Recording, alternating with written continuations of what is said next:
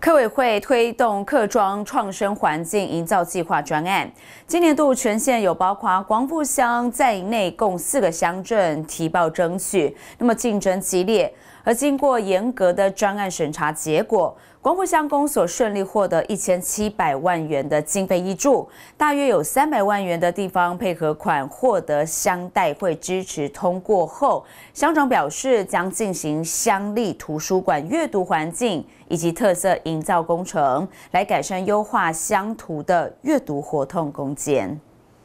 全国竞争型的客委会客庄创生环境营造计划专案竞争激烈，光是花莲县就有四个乡镇市提报争取。经过严格的计划专案审查结果，光复乡公所提报乡图优化改善计划突破重围，获得计划补助经费一千七百多万元，也是县内唯一通过审查核定的乡镇。那我们总共是两千万。然后科委会补助到一千七百多万，其中配合款要两百八十万，还是一个比较大的工程。希望可以工程可以达到我们所需求的目的。中央补助光复乡地方配合款约两百八十多万元，送交乡代会临时会审议，也获得乡代表们的支持。乡长林清水感谢中央、县政府以及乡代会的支持协助，准备优化乡立图书馆阅读环境空间，改善强化环境设施，让老旧的图书馆能进化升级。光复乡公所今年荣获我们的客委会。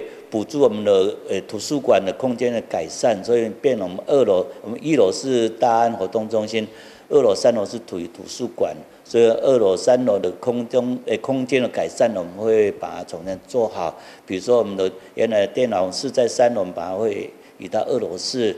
二楼，然后小朋友的阅读空间啊，有的有的有的空间。真的空间我们会把它一来改善啊，希望说我们的图书馆呢，可以更符合我们居民、我们乡民的需要，也可以让更多人来来到图书馆来阅读、来来来来来联谊的。光复乡里图书馆与社区活动中心共构，民国九十二年进行重大基础改善后，二十年下来，设施设备老旧，空间环境早已不敷使用。因此，乡公所借此机会，能重新升级优化乡图阅读环境空间，改善乡图周边环境，提供乡亲民众一个优质且现代化的文艺公社空间。记者石玉兰光复采访报道。